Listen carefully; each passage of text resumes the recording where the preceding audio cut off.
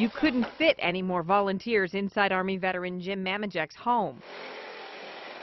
Dozens of them descended upon the to-do list. New paint, new windows. They're putting in glass block windows in my basement windows.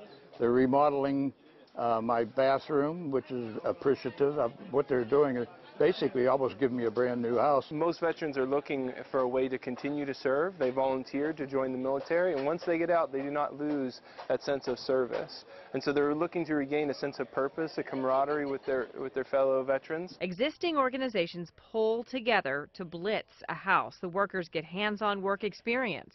We've been, we've done, uh, I believe, six houses on this block, and we found out what Rebuilding Together Pittsburgh was doing, and their mission really relies on volunteers. So who better than people who have picked up tools, know about how to get dirty, they'll show up when it's raining. people that are making the transition the opportunity to create a new career in a new home in Pittsburgh. Not just the mayor, but Steeler great Franco Harris was here, and so many others, to make sure a Pittsburgher and a veteran gets whatever his home needs. I think it's a, an honor for me to have these people that served and uh, did the same thing I did to come help an, op- a fellow veteran, especially the younger guys. I'm very impressed and overwhelmed with the amount of help that I'm getting.